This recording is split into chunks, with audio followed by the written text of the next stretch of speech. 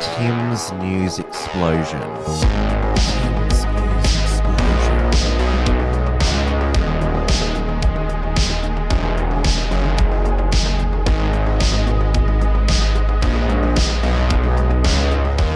George Galloway, he has been uh, criticized this past week uh, because he had David Clews on, uh, who has uh, been spreading Kate Middleton conspiracy theories that uh, she might be dead after, well, uh, there's been sightings of her, but a lot of people suspect that they are AI, and there was the photoshopped a photo from Mother's Day, uh, which uh, Kate said that uh, she uh, she took the the fall for that.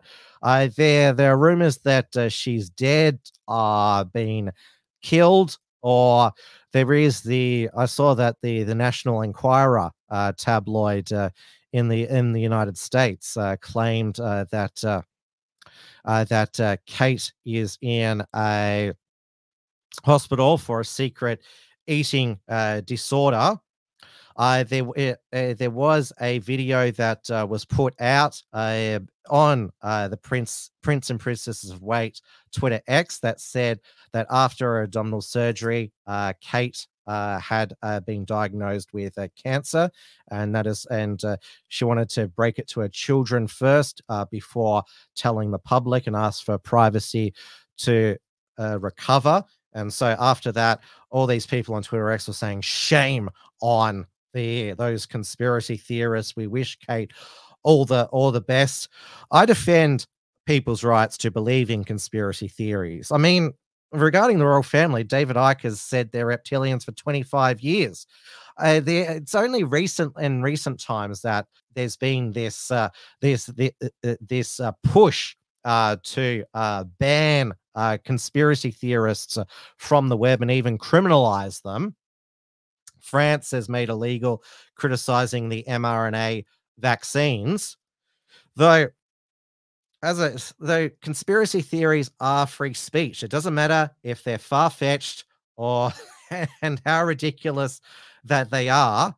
Uh, they're free speech, and you have the right to believe what you believe, and you can put a convincing you can try and put a convincing case out there. Doesn't mean that people are going to believe it. But according to one of the UK's worst uh, Britons, uh, and I don't know why he didn't make Dan Wootton's uh, list of the 50 worst people in Britain. Jeremy Vine, uh, that uh, who is suing uh, Joey Barton uh, for creating the bike bike nonce hashtag on his Channel Five show uh, Vine with five.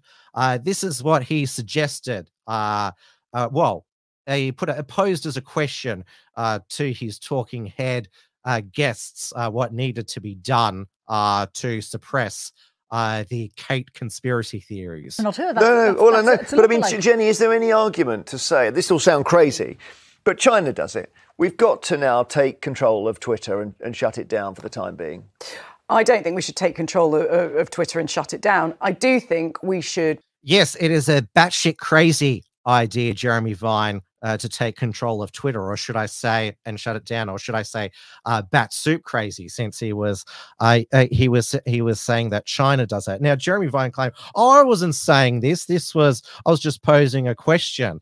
Although the fact that he thought that that was a question worthy of discussion, even though I prefaced this may sound crazy, I mean, just shows where his mindset is, and he's despite the fact that he uh he, he uh called Alex Belfield the the Jimmy Savile of trolling and uh, got him sent to five and a half years in prison for stalking.